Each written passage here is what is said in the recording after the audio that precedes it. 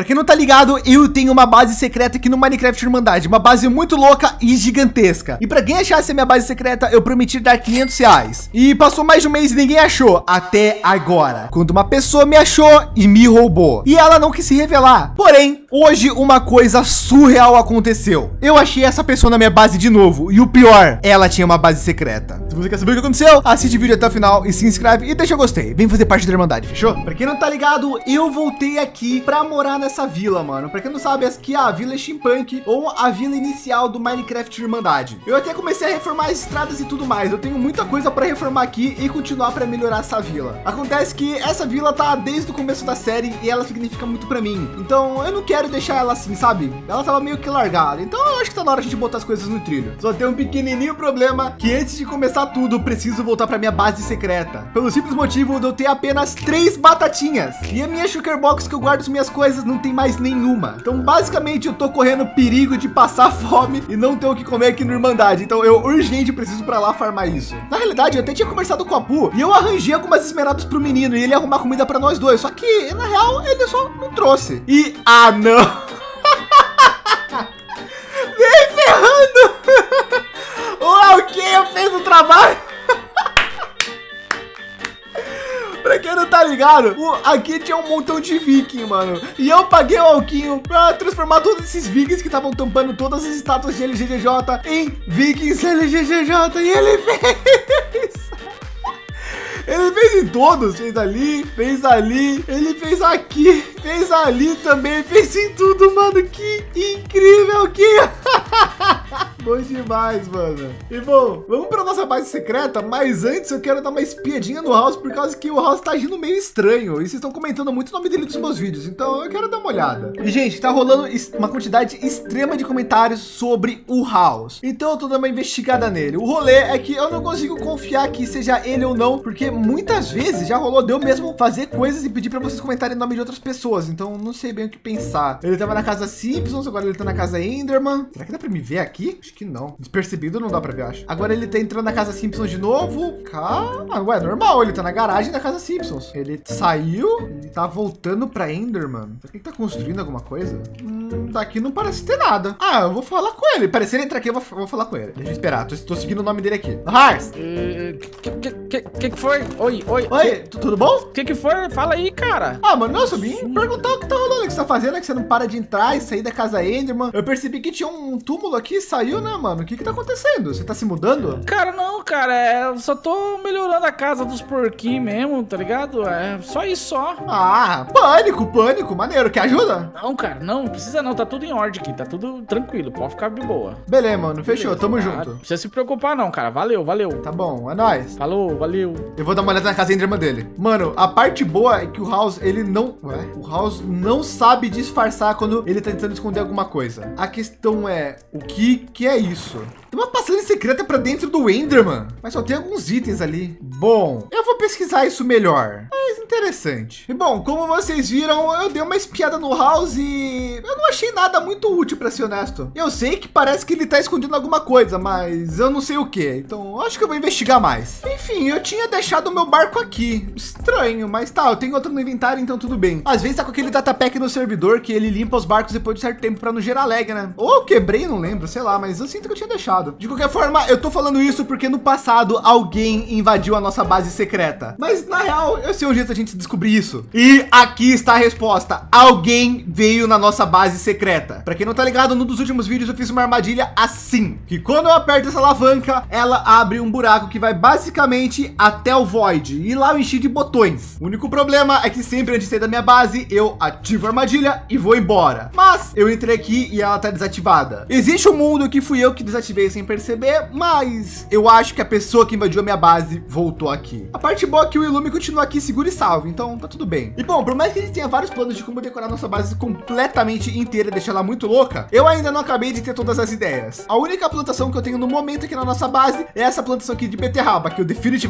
não vou comer isso. Então, eu acho que, eu não sei se eu faço aqui, que tá com músico, tá tão bonitinho. Eu acho que eu queria ter uma área para plantação na nossa base, mas eu ainda não fiz. Quem sabe eu transforme aqui numa estufa no futuro. Mas por agora, alguns recursos básicos já vão dar conta do que a gente precisa. E eu tenho que andar logo, porque eu só tenho agora uma batatinha, a minha última fonte de comida, meu Deus do céu. Bom, para fazer isso, eu vou precisar de uma grama arada. E querendo ou não, essa daqui, por exemplo, é uma boa. Eu vou tirar essa folha temporariamente e vou deixar ela aqui. Observador aqui, ejetor.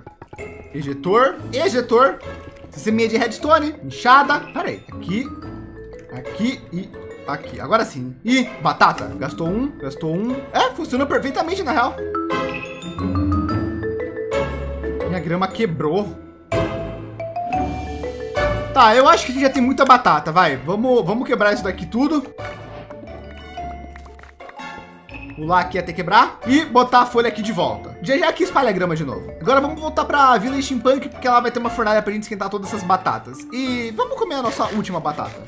Gente, seguinte, voltei aqui para base e eu achei uma coisa interessante. Eu não sei se é todo mundo aqui que vê todos os episódios de Irmandade, mas se você não vê, base na descrição para você ver todos os episódios, fechou? E eu voltei sem minha armadura. Já já volto lá buscar ela. Até porque só tem eu e o Alquim online agora e o Alquim não vai me atacar que eu sei. De qualquer forma, em um dos episódios anteriores de Irmandade, faz um tempinho até já, eu fui no Nether para fazer algumas trocas com o Piglin. Eu não lembro muito bem o porquê, mas eu sei que eu peguei isso daqui, ó. Tcharam! Eu tinha pego flash espectral e eu sempre ficava recolocando minhas flechas quando acabava, mas eu nunca mais fiz isso. E agora eu peguei aqui, ó, mais um pack de flecha. Deixa eu mostrar para vocês que não conhecem como ela funciona aqui da hora. Tem um player ali. Nossa, eu nunca achei que ia achar o Elcor aqui, mas ele vai servir perfeitamente. Aqui, ó. Oi. Posso te tirar uma flecha só para mostrar pro pessoal o efeito? Pode, eu tô de funaderite. Tá, não se mexe. Não, se... não, fica ali, fica ali, fica ali. Não se mexe. Gente, aqui, ó, mano. Esse é o efeito do brilho que essa flecha dá. Muito louco, né? Sim, sim, aqui, ó. É, ó. Aí, ó, é flecha de brilho. Aquela que mostra na are parede. shining! Tô bonito, né? Nossa, muito hype. Enfim, aqui, os zumbis estão chegando, então, é... Tchau.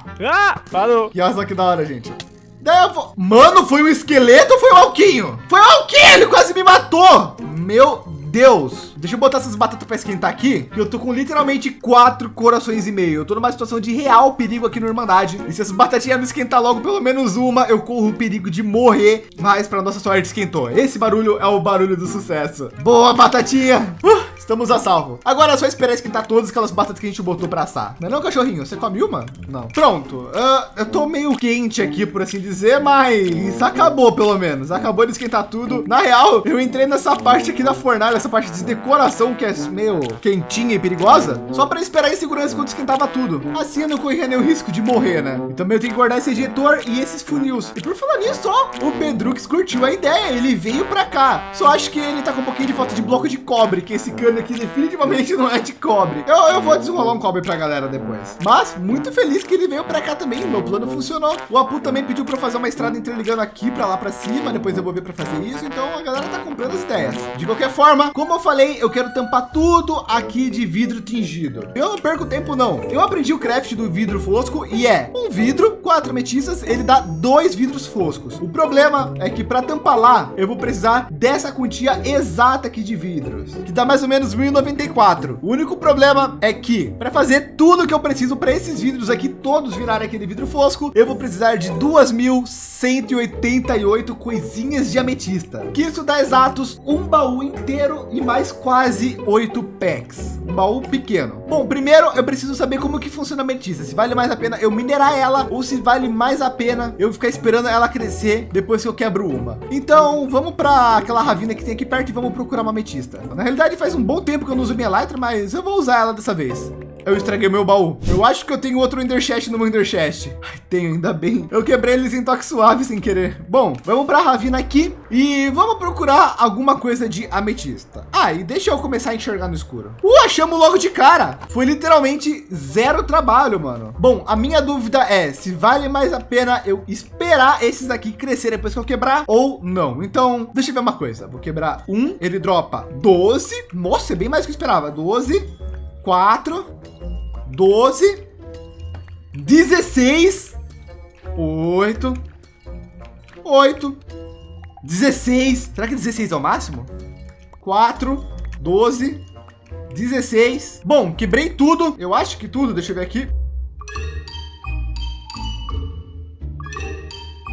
Tá, agora sim eu quebrei tudo. E com um único diodo desses eu consegui quase seis packs. E que se eu fizer as contas de uma forma mais simples, dá 100, 200, 300, dá 380. Então, basicamente, com um desses, eu consegui 380 fragmentos de ametista. De 2 mil que a gente precisa. Cara, e levando em conta que nesse tempo todo eu minerar tudo e fazer as contas, não nasceu mais nenhum, eu acho que o melhor esquema é a gente procurar mais. E eu tô pensando aqui, acho que eu tenho um plano, mas vamos executar esse plano em casa que é mais seguro. E bom, eu tive uma ideia perfeita para a gente conseguir achar muitos geodos de ametista rápido e fácil. Na real, eu tô me sentindo tipo assim, ó, senhor da inteligência com essa ideia que eu tive. E bom, estamos aqui na loja do Alquinho e é três poções um dia, mas eu vou pegar uma poção de velocidade 2 e duas poções de velocidade 1. Deixa eu pagar aqui, né? E agora o que a gente vai fazer para conseguir achar um geodo de ametista vai ser a coisa mais da hora e mais fácil do mundo ao mesmo tempo. Eu tô aqui numa das cavernas que tem perto aqui da Vila Irmandade e eu vou fazer o seguinte, eu vou pegar dois pistões, uma alavanca, um pó de redstone. Eu preciso de um bloco qualquer, pode ser esse. Vou tampar aqui, quebrar esse bloco, alavanca, redstone, pistão, pistão. Com isso, a gente já tem o nosso bug de X-Ray para achar ametista completo. Assim, só que como vocês podem ver, esse bug é um pouquinho limitado. Agora entra a mágica. Primeiro, poção de velocidade, que aumenta nosso campo de visão. Segundo, eu aumento o campo de visão do Minecraft. E como vocês podem ver, ali embaixo a gente já tá vendo um geodo de ametista. Tá, basicamente eu tenho que chegar naquela caverna ali e cavar para baixo, né? Tá bom. Então agora que eu sei que é só eu vir para cá, mais ou menos para lá. Essa aqui, ó, aqueles dois glow que eu vi. Agora mais ou menos aqui, eu só tenho que cavar para baixo. Eu acho que é bem aqui mesmo. Aí, ó, joga as tralhas fora, picareta de fortuna e bora minerar mais ametista. Esse método que a gente tá usando para achar as ametistas é o método mais inteligente de todos, eu acho.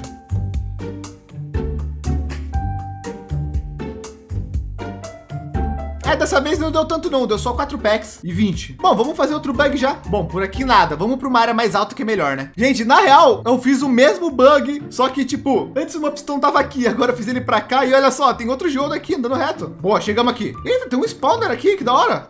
Vou quebrar, né? Não sei se vocês tinham visto, mas bugou e nasceu uma ametista aqui nessa pedra. Aqui, olha. Se bem que dá para colocar essa ametista na pedra, né? É, só que esse geodo aqui de ametista tinha bem menos, né? Ao que tudo indica, aqui tem mais um. Nossa, eu acho que ia demorar mais alguns blocos. Nossa, aqui tá muito recheado, né? Bom demais.